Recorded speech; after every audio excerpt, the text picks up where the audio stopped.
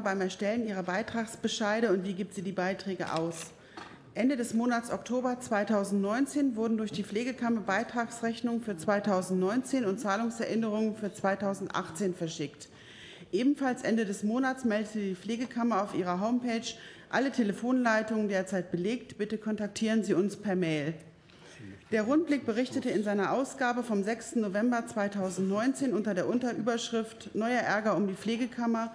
Aktuelle Beitragsrechnungen liegen vor und lösen scharfen Widerspruch aus, dass es mehrere Fälle gebe, bei denen abgegebene Selbsteinschätzungen bei der Errechnung der Beitragshöhe nicht berücksichtigt worden seien. Im selben Artikel ging der Rundblick unter der Zwischenüberschrift Auch eine Lobbyveranstaltung der Kammer sorgt für Kritik auf den geplanten Winterempfang der Pflegekammer am 9. Dezember 2019 ein und führt hierzu unter anderem aus, dass das Papier, auf dem die Einladung verschickt worden, doppelt so teuer sei wie normales Papier. Frage 1. Wie viele Fälle, in denen abgegebene Selbsteinschätzungen für die Beitragshöhe nicht berücksichtigt wurden, gibt es bisher?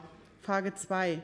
Wie viele Zahlungserinnerungen wurden bislang innerhalb insgesamt durch die Pflegekammer verschickt?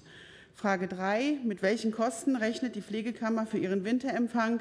Bitte insgesamt und nach einzelnen Posten wie Einladung, Saalmiete usw. So aufgeschlüsselt angeben.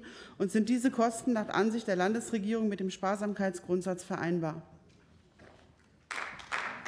Vielen Dank, Frau Kollegin Bruns. Für die Landesregierung antwortet Frau Sozialministerin Dr. Reimann, bitte.